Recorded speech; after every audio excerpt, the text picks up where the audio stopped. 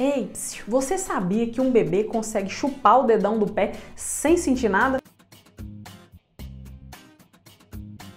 É, mas se um idoso fizer isso, ele pode se quebrar todo. É... Olá, meu nome é Renata e eu sou professora do canal Biologia em Foco. E hoje eu começo a série Bioquímica em Casa, para você aprender mais sobre esse mundo incrível da biologia de uma maneira leve, tranquila, divertida, hein? Sem enrolação. Puxa a vinheta!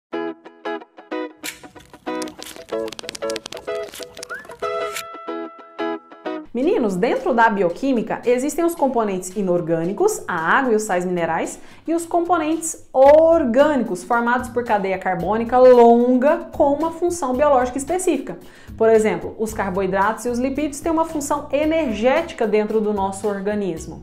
Hoje eu vou falar sobre a água, esse componente inorgânico incrível que mantém toda a vida no planeta. Hum, se você achou que era o oxigênio, Achou errado, otário? Se enganou, meu bem, porque existem seres vivos que não respiram na Terra e são chamados anaeróbios. Anota isso aí, hein?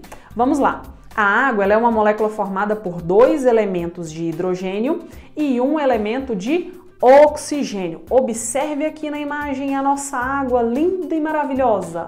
Nós dizemos que a água é um dipolo porque ela possui uma carga elétrica negativa próxima ao oxigênio e a carga elétrica negativa próxima aos átomos de hidrogênio. Por isso que a água ela funciona como um solvente universal. Ela é polar, dipolo, porque ela consegue interagir com facilidade também com outras moléculas polares.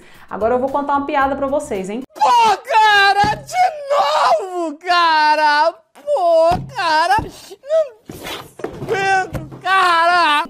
Vocês sabem por que, que o urso polar ele derrete na água? É justamente por isso, hein? A sua capacidade de polaridade dentro da água.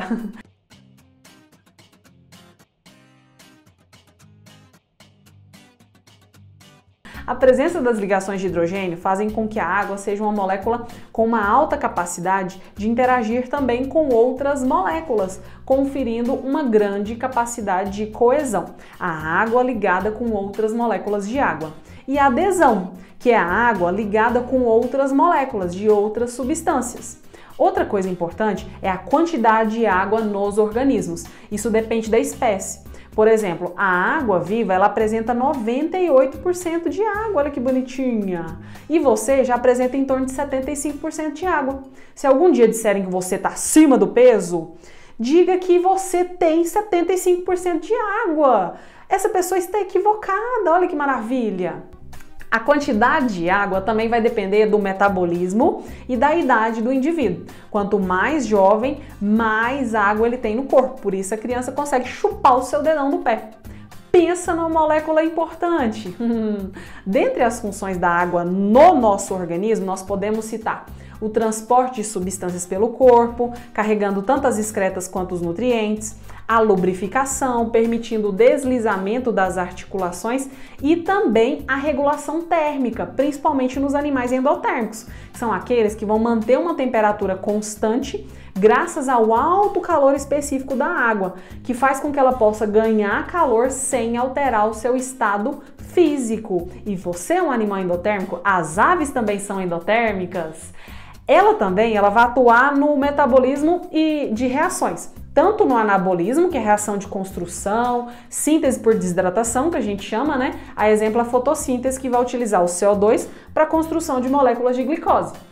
E também o catabolismo, que é reação de quebra, chama-se hidrólise, e nós temos como exemplo a respiração, que vai quebrar as moléculas de glicose e liberar o CO2 e energia para o ambiente.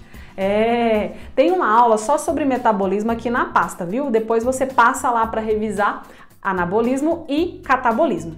Agora que você aprendeu sobre as propriedades e funções da água, me conta aqui embaixo se você já conseguiu chupar o seu dedão do pé. Eu vou amar saber os comentários, tá? E se você achou que essa aula é importante, passa também para o seu colega aprender biologia de forma prática, objetiva e sem enrolação, beleza? Então é isso, galera. É, a água, ela é tão importante que faz tudo isso e muito mais, tudo isso e muito mais. Clica aqui acima para você assistir sobre o único animal que sobrevive sem água. Tá muito legal e ele vai ser utilizado para a síntese de uma vacina, viu? Ó, ó, ó, ó. Na próxima aula eu vou falar sobre os nutrientes inorgânicos, que são sais minerais importantes para o funcionamento do nosso corpício. Então é isso, galera. Te espero lá e até mais. Tchau!